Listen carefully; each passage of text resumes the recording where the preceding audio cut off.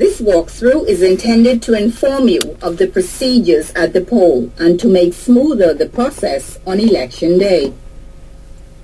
You are allowed to vote once and for one candidate only. Use the indelible pencil provided to mark your ballot paper. No other mark should be made on the ballot. Fold the ballot paper to conceal your vote but to show the presiding officer's signature. Show the folded ballot paper to the presiding officer so that he sees the signature on the ballot before you place the ballot into the box. Leave all electronic devices, that is cell phones, iPads, etc., on the presiding officer's desk as they are not allowed into the booth. This Case. Each candidate will be allowed a maximum of three agents in the station at any one time and three on the outside. In the presence of his staff and the designated agents, the presiding officer will open the ballot box, remove all the contents, and check to ensure for accuracy. He shows the box empty to those present. All ballot papers found in the ballot box will be counted and the numbers recorded on Form M. If there are advance poll ballots to be placed in that box, these will be put into the box and it will be locked and sealed. The box will be positioned in front of the presiding officer and in view of all. Agents will then be invited to check the voting booth compartments. At exactly 8 a.m., the poll opens and the first voter is invited in. He must present either a voter's card or other official means of identification, that is, a passport, work ID with current photo, or a driver's license. The floor clerk will call out the name of the voter. The register clerk will check the register to confirm that he is on the register for that polling division. The counterfoil clerk finds the corresponding counterfoil in the tin, removes it, and checks it against the voter's card to ensure its authenticity and passes them on to the presiding officer. Once the presiding officer is satisfied that the person is entitled to vote in that polling division, he then checks the voter's right thumb to ensure that no election ink is on it. Barring no defects, he then immerses the thumb up to its first joint in the well of indelible ink. The voter is given a hand towel to wrap around the ink finger so that he does not smudge the ballot. He then proceeds to give the voter a ballot and some instructions.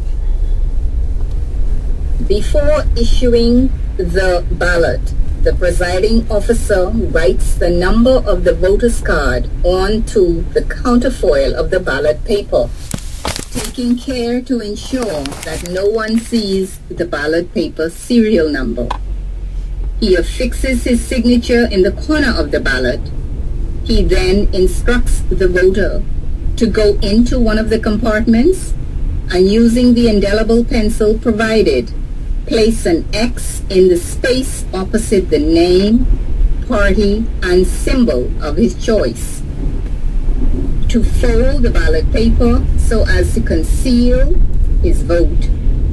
Come out of the booth and show the presiding officer's signature on the ballot paper before dropping the ballot into the box.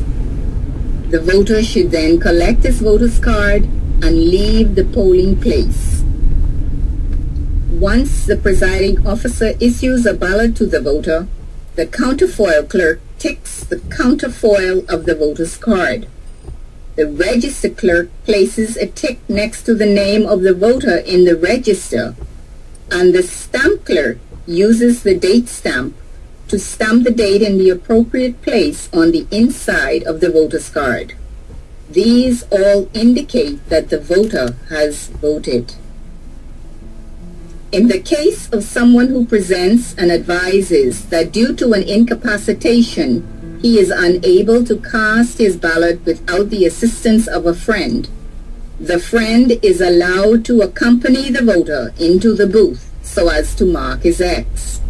However, both the incapacitated voter and the friend must take separate oaths before being issued the ballot. The voter takes and subscribes to Form O and the friend to Form P, in which he swears to keep secret the name of the candidate for whom the voter's X is marked. He also swears that he has not already acted as a friend. The incapacitated voter is then inked. The assistant presiding officer keeps a listing of all incapacitated voters. Once an agent challenges the right of a voter to vote in that polling division, either because the voter has never lived in the constituency or that he has moved out in excess of 12 months, the voter must take and subscribe an oath in the Form N. Once the voter takes the oath, he will then be given a regular ballot. Should he refuse, then he will not be allowed to vote. A voter who presents to vote and has a voter's card for that particular polling division, but his name does not appear on the polling division register, and he insists on his right to vote at that polling division, is allowed to vote on a colored ballot. At 6 p.m., if there are no voters online to vote, the presiding officer will close the poll. If there are voters on the line to vote, the presiding officer will establish the end of the line and instruct the police officer not to allow any other person to join the line. All voters on the line at 6 p.m. will be allowed to vote. After the last person has voted, the presiding officer will close the polling station and begin the count of the ballots. After the count is completed, the presiding officer will complete Form Q, which is the post-poll ballot paper.